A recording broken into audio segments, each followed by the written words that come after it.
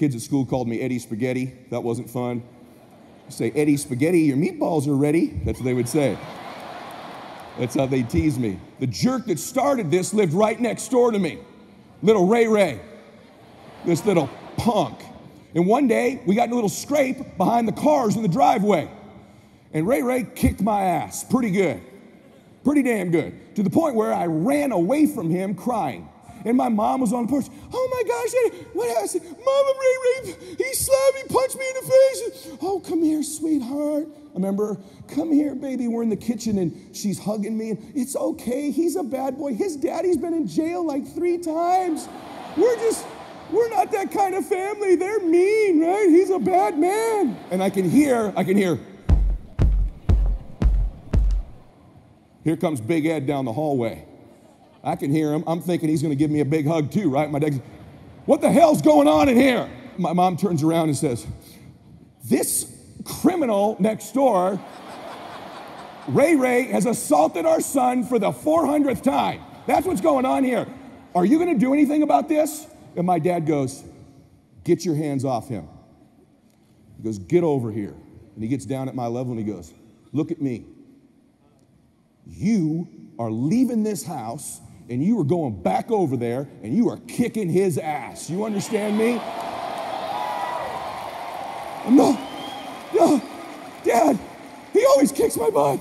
And I walk over to their porch, which is like three steps from ours. And I knock on the door, their screen, and Big Ray all tatted up, no shirt on.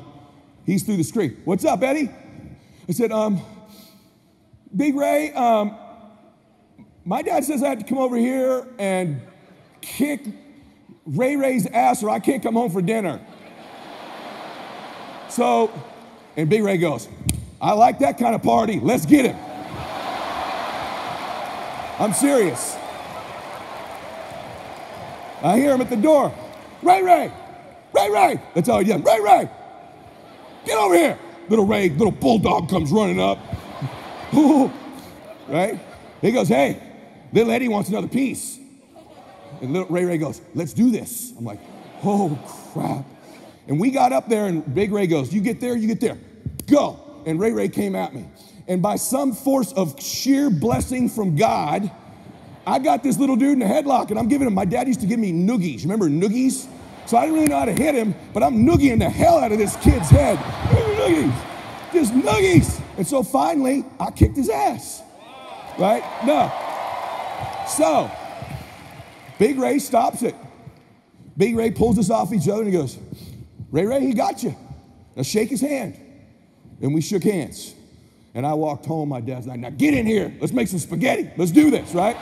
Right? So proud of me. Now, I'm just going to tell you a couple, couple things you need to know. Number one, that taught me life will give you what you'll fight for.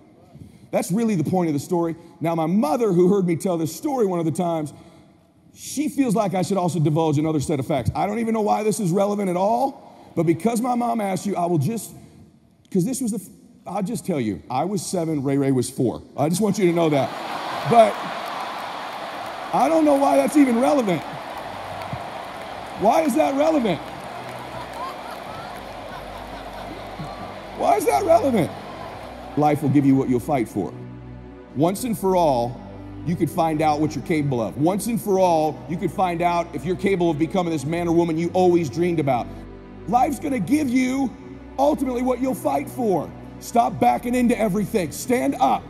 Bow your back a little bit. Start to walk a little different. Start to be that best version of you. You can do it in your quiet way. You can do it the way you do it, but somehow they got to look at you and go, okay, I won't monkey with that one. In your life, you're going to get what you tolerate. So, what's the decision?